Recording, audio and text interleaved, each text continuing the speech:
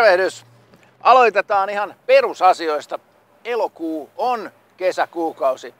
Älkää siis yrittäkökään mitään huonoja vitsejä siitä, että ensi kuun jälkeen on jo lokakuu, vaikka kuinka tuntuisi, että illalla on vähän vilakampaa. Elokuu on kesäkuukausi ja kaikki muu on vain väärin lomassa ajoittaneiden ihmisten virheellistä propagandaa. Fake news. Elokuu on kesäkuukausi, vaikka sosiaali- ja terveysministeriö kesätauon jälkeen aloitti taas viikoittaiset koronatilannekatsauksensa ja vaikka hallitus kokoontui pohtimaan koronastrategiaa, se kuultiin, että koronapassin valmistelu aloitetaan kiireellisesti. Joku saattaisi sanoa, että jos valmistelu olisi aloitettu jo huhtikuussa, niin saattaisimme olla aavistuksen pidemmällä, mutta parempi myöhään. No miksi tämä koronapassin valmistelu nyt yhtäkkiä sitten on mahdollista ja hallituskin siitä yksimielinen. Yksi syy on varmasti se, että yli kaksi miljoonaa suomalaista on saanut jo täyden rokotussatsin ja tuo vaalipiiri kasvaa päivä päivältä. Elokuu on kesäkuukausi, siitä kertoo sekin, että eduskunta palaa lomilta vasta syyskuussa ja, tai istuntotauolta ja jo nyt on ennakoitu, että koronapassi saattaa törmätä juridisiin ongelmiin eduskuntakäsittelyssä. Ansioitunut entinen Suomen Pankin pääjohtaja ja komissaari ja vaikka mitä, Erkki Liikanen kertoo mielellään tarinaa siitä, kuinka hän nuorena valtiovarainministerinä kysyi neuvoa laajasti yli puolueen arvostetulta valtiosihteeri Teemu Hiltuselta, että keneltä nyt kannattaisi missäkin asiassa kysyä neuvoa.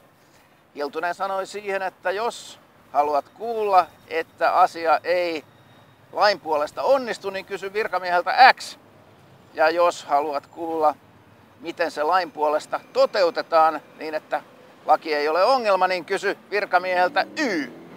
Tuo on ehkä käypä neuvo tässäkin tapauksessa. No sitähän me emme tiedä, mitä Delta-variantin lisäksi kommervenkkejä päänmenoksemme COVID-19 seuraavaksi keksii, mutta on se nyt aika rajusti jo kirjoitettu, kun Helsingin Sanomat pari viikkoa sitten pääkirjoituksessaan uumoili, että immuniteetti kyllä tulee joko rokotteen kautta tai sairastamalla koronan tähän mustaa huumoria. Tulihan se sieltä sote-uudistukseen.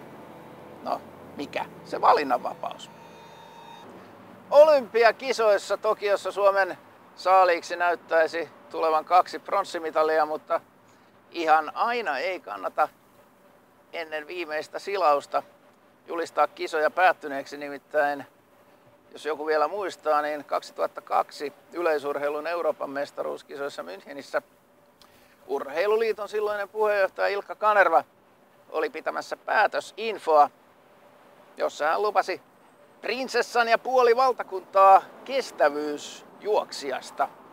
No täsmälleen samaan aikaan Janne Holmeen irroittautui muista maratonilla ja juoksi yleisurheilun Euroopan mestariksi. Tiedossa ei ole, onko Holmeen käynyt vaatimassa Kanervalta prinsessaa ja puolta valtakuntaa, mutta jos on, niin Ahvenanmaa ei taida ihan puoleksi valtakunnaksi riittää, joten katsotaan nyt nämäkin kisat loppuun. Vielä on kisa jäljellä, vielä tulee heittoja keihää.